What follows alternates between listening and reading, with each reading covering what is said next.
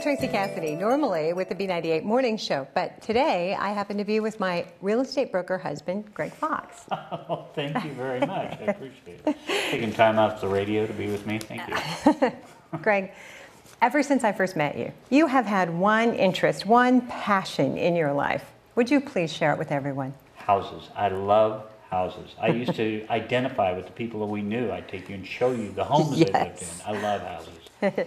you take me neighborhoods. You take me walking through new floor plans. Yes. so when did you know that you wanted to be a real estate agent? When you told me I needed to be one, Because you couldn't be anything else? because I couldn't do anything else. That's right. You were too distracted. So you were an agent for a while, and then you decided to become a broker.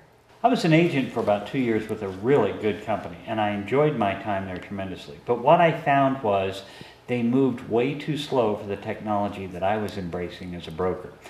Worse, I found that other agents who should be using technology to be good tools for them couldn't find them, didn't know how to use them, and didn't know what to do with them once they had them. My goal when I left was to try to become a broker that found those tools for people and gave them to them in a way that they could continue to work easy and fast. And when did you know that you had to become a broker? I was with a wonderful company for two years and I really enjoyed that company. But what I found was they moved too slow for the amount of technology that was coming into the market. I found that I could find that technology and I could make it work, but I had to do a lot of research. Worse, I found a lot of other agents who couldn't find the technology or found were trying to research it and found it to be so difficult it didn't become useful in their business. So I got lucky. I got to be a broker so that I could find those technologies and then I could help others use them well. It sounds like you became a broker as much for your people as you did for yourself. Absolutely. I love to share with the agents. And biggest part of my job is doing the research to find the tools that really work instead of the ones that claim to work and the agents are spending all their time trying to make it work. The experienced agents I often hear say, don't need a broker. What do you have to say to them?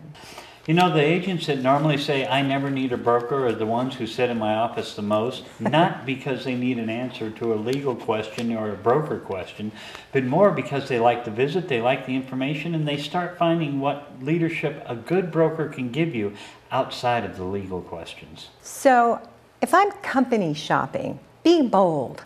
Why should I pick you for a broker? It's hard for me to be that bold because I'm a little shy. And, I know. Oh. Get over it. Um, one of the things I've learned with the other companies that I've talked to is they tend to piecemeal prices. So I get charged for this, I get charged for that, and I didn't like that. That was took a lot of accounting and it wasn't simple. I like things simple, so everything's included. But second, I can then take the power of all of our agents and purchase the services and the tools that a lot of agents are purchasing on an individual basis.